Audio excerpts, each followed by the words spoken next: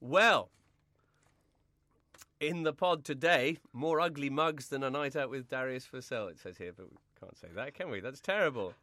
Uh, where should we start? Sean Ingle. Hello, James. Hi, Sean, and many thanks for your help with today's podcast.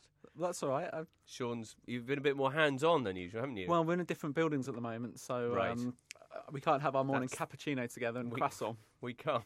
So uh, I missed that. and we, Yeah. we'll- we, I should also tell the, re- the listeners rather we're being filmed. We're being filmed. Um, Barry unfortunately hasn't come in um, with his makeup and his uh, his foundation on, so he's not here today. But uh, we Right. have a camera going now, so apologies if we're preening and, and stuttering more than, than usual. right. Cameron loves Raphael Honigstein, of course.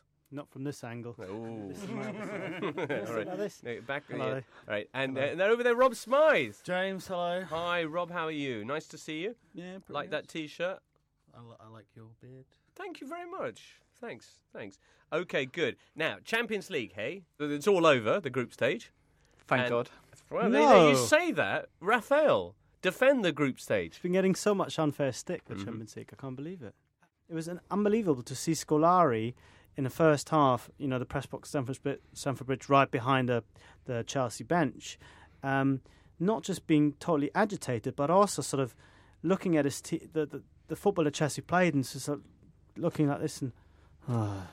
They're Oh, missing. no. some- They're good thing we got oh, the camera into at that that. because that's a very evocative uh, reenactment there of, of, of the Scolari. But uh, his best bit was afterwards, after Right. the press conference, when they said, "You know, does it matter to you now that you're only second? You're going to play a big team." He said, "Oh, no matter. Draw. Hmm? Okay." Ah, listeners, you want to get across to moustache. guardian.co.uk Next to time I see have that to in all its Come in glory. with a moustache to do a bit. It's do a very bit good better, thank though. I think uh, if you bear Jimbo doing it with his hair, you know, it'd be easy. He'd probably get away with it. That's not why? nice. Why? Sorry. Scolari's got a lot more hair than that. Come on. He has. now listen, West Ham kayaking saying, I would like to know what does the pod think about you probably don't speak like that kayaking, sorry. Uh, what does the pod think about Ilunga's constant handballs? It's true.